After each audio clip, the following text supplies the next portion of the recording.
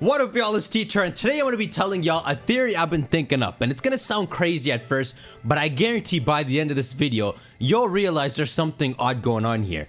And the theory is that AZ has a living descendant kind of in front of our face during the X and Y games and we might even meet him in Pokemon Legends ZA. Now this is a bit weird to imagine right, AZ is this depressed man roaming how could he have had a kid that would then result in there being essentially a distant kid of AZ? So let me take you through the whole thought process I went through, right? Let me start at the beginning. So here's footage of me playing Pokemon X and Y. There's a place here called the Parfum Palace in Kalos. Now, the Parfum Palace is a location you gotta quickly go to to get the Poke Flute effectively. And this is when you get the fireworks with Shauna and all people shipping. But there's something interesting about the Parfum Palace.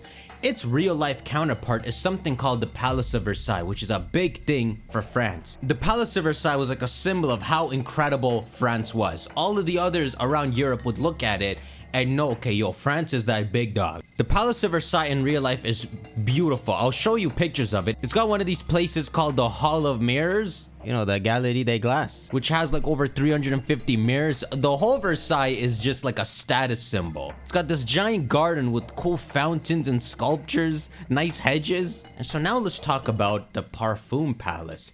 The Parfum Palace has similar things. If you go outside, the hedges are cut into interesting shapes. I don't know what the one on the top left is, but that's a Solrock, a Chandelure, and what looks like a Pyroar. Hey, there's that fountain I was talking about. And in terms of sculptures, there's an interesting two sculptures here, which we'll talk about after. So, the Parfum Palace is big Palace of Versailles. And, you know, Game Freak did a good job recording fun parts of France in general in the Kalos region, which is good. Now, we go to part two of this, which is you can look into the lore of what the Parfum Palace is. And if you talk to different NPCs, you get the ultimate picture that it was constructed around 300 years ago by a king. And so this king, it was actually constructed after a battle was won against nearby nations slash regions. So the battle is won, then this king comes and makes the Parfum Palace. Now, in real life, we'll just start with the construction of the Palace of Versailles. It's made by King Louis the 13th. He's a good king. He's pretty sick. My understanding is there's so much going around in France that King Louis 13th actually built this little castle here. It's like a breath of fresh air to escape the big things going on there. So he'd come here and hang out. That's my understanding of it, right?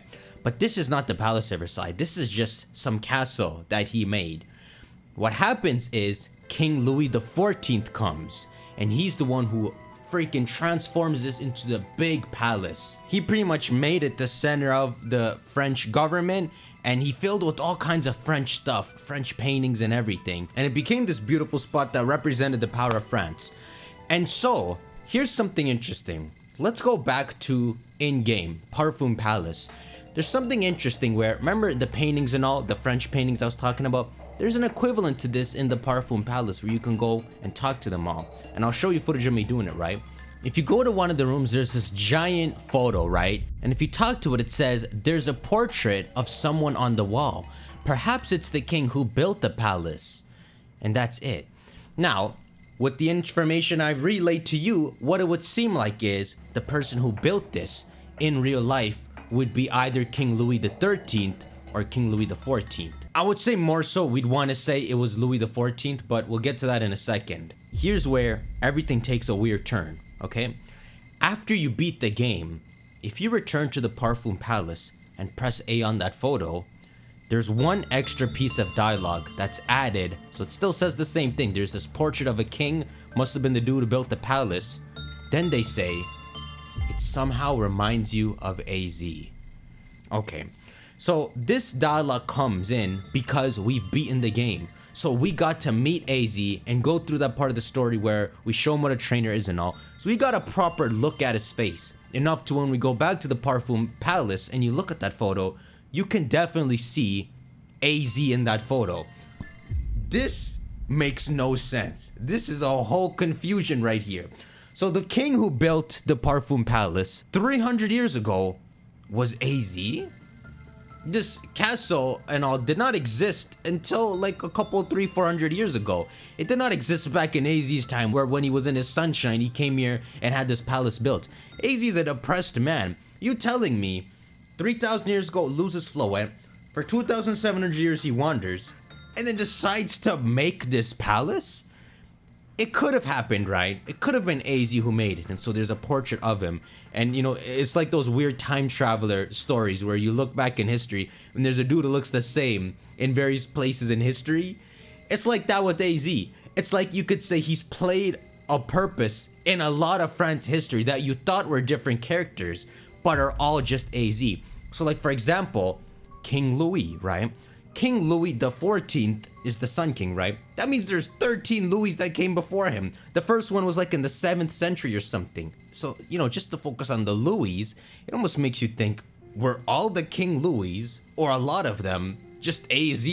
And he's hanging back in Kalos, and they called him King Louis the First, King Louis the Third, and then the Seventh and all. Every now and then he came back and that was actually him. But I don't like that idea because it just doesn't make sense with AZ's character, right?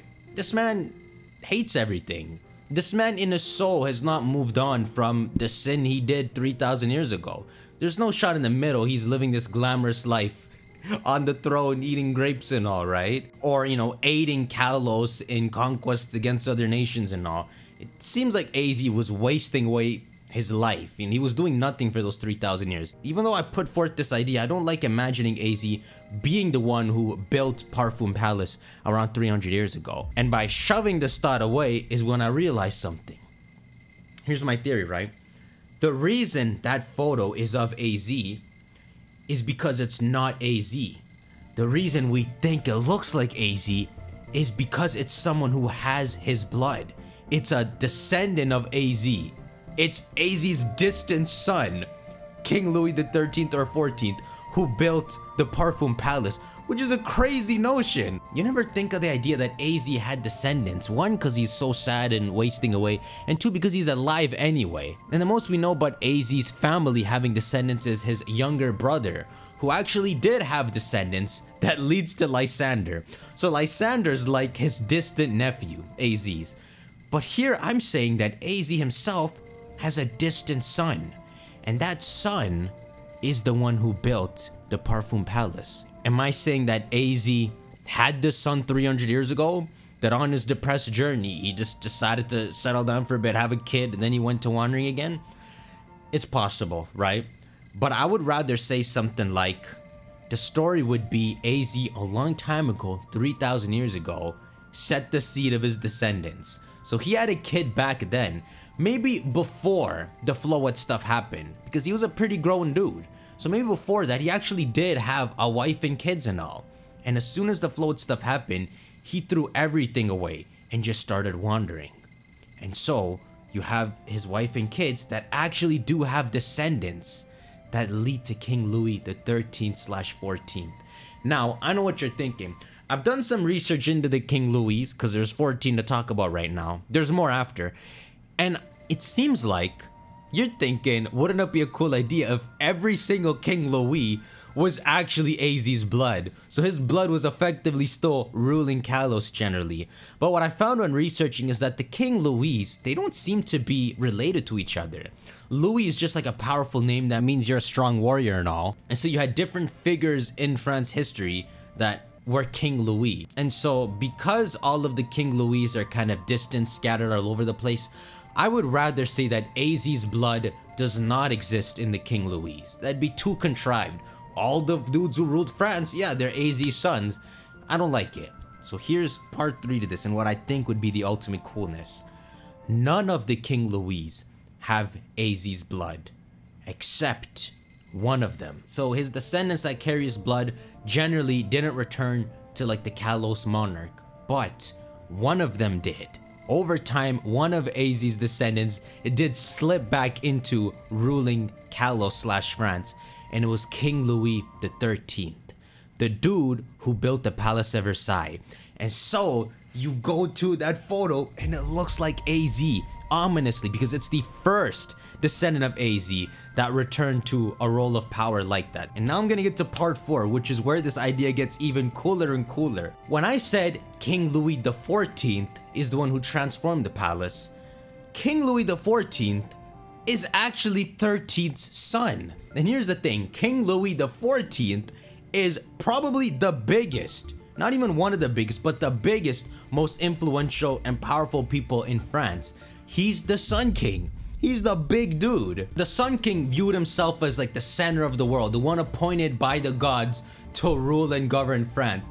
Dude was a badass. He transformed Versailles. He was a very strong character. He was a part of various wars. The War of Devolution, the Franco-Dutch War, War of the Spanish Succession, and he made France look so good. Imagine one of the most influential French kings ever. And we've just tied it to having AZ's blood. Why would Game Freak in a story they could not finish back in 2013, Pokemon Z never came out, why did they put that dialogue, that that portrait of the king in Parfum Palace 300 years ago reminds you of AZ? This has to be my answer. This is the best theory I can come up with. This blood, if we put it into Louis XIII, it really leads to a lot of descendants that will lead to the time of Napoleon III, which is the one that's redeveloping Paris the same way we got the urban redevelopment plan for Lumiose City. So you can have a living descendant of AZ crossing over into the exact time period that we're playing Legends ZA. And it doesn't even have to be a kingly figure. It could even be just like a 12, 13 year old kid who's actually AZ's descendant. And you run into him kind of like an N figure. Maybe even the story of Legends ZA is something like while Napoleon is doing all this redevelopment stuff, you have AZ's descendant, this kid, who is actually the scheming child that's trying to take back Kalos because he has the blood of the Sun King and all, and he wants to be the one to rule Kalos. And the reason I wanted to be a kid is because imagine the dynamic Game Freak would be able to write if AZ crossed paths with this troublemaker kid spouting that he has the Sun King's blood in him. And whether AZ knows or not that that's his like distant son, how they can make the two interact. You could have moments where AZ doesn't care and he's wandering around and the kid is just like following him around behind him. And it's a father-son moment, but you know, mans don't know. But it's just funny that the kid would be saying he has the Sun King's blood and not realizing there's an even greater thing behind that. Yeah, it's time for me to stop myself. There's a real fun story to tell you, my dudes, but I'm gonna stop myself short there. Shank that like button, let me know your thoughts below. Do you think it'd be cool? If there's something that breaks my theory, let me know in the comments, and I'll see you on the next one. Take care.